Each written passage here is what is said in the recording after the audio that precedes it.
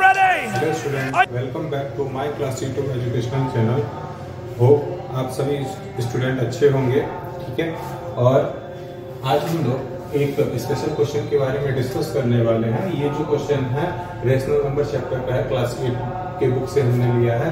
Question है the product of two rational number is minus twelve if one of the number is minus eight find the other ठीक है?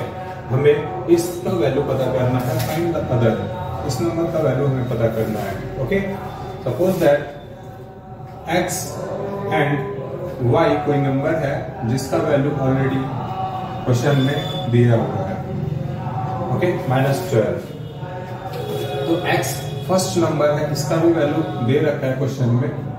तो minus eight into y की value हमें निकालनी होगी।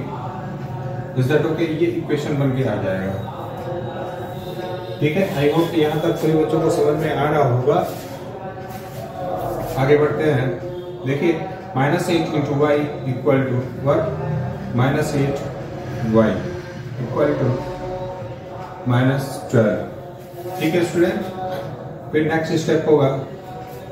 y equal to minus twelve upon minus eight ठीक है? Y equal to minus minus cancel out हो जाएगा। देखिए फोर के टेबल से कट जा रहा है। फोर थ्री जा ट्वेल्व एंड फोर टू जा एट द आंसर इज़ मज़ा आया। और मैं ये जो मज़ा है हिंदुस्तान के हर व्यक्ति को थ्री अपॉन टू ये थ्री अपॉन टू आंसर हो जाएगा। The value of the y okay तो सेकंड नंबर जो हो जाएगा आपका three by two this is the answer I hope बच्चों को समझ में आया होगा।